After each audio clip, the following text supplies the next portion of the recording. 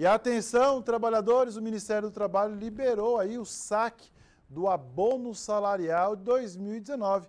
Trata-se do benefício esquecido por, para trabalhadores que pode ser pedido o saque.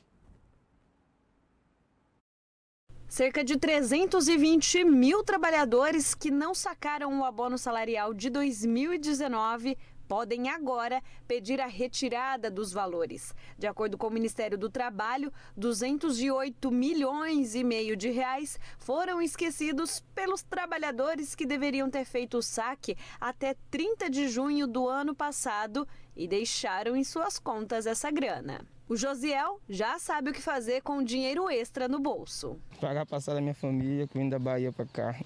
Ah, quantas pessoas? Quatro. O dinheiro vai dar certinho? Dá. Faz tempo que não vê a família? Sete meses. Meu Deus. O senhor tá aqui por quê? Trabalho? Trabalho. Trabalhando. Trabalha com o quê? Sou pedreiro. E agora vem mulher, filhos? É, vem minha família. Ai, que bacana.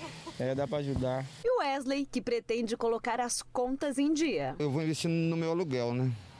Que... Colocar as parcelas em dia? Isso. Né? Eu acho que eu tenho aí umas. umas cinco. Assim, uns cinco meses dele. Vai dar uns 500, 600 reais. E vai, dar para quitar? Vai. Pegar esse, né, essa quantia, resolver essa, esses débitos em atraso né, e vida que segue de novo. Quem optar pelo saque presencial deve vir até aqui, até a Casa do Trabalhador, que é onde funciona como posto de atendimento do Ministério do Trabalho. E daí deve solicitar a abertura de recurso administrativo para o reenvio do valor à Caixa Econômica Federal, no caso de PIS, e para o Banco do Brasil, no caso de servidores públicos do PASEP. Mas afinal, quem tem direito ao benefício?